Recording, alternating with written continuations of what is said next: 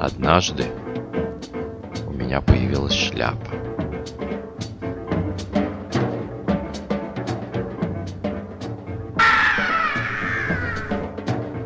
Сначала все это приветствовали, потом стали завидовать.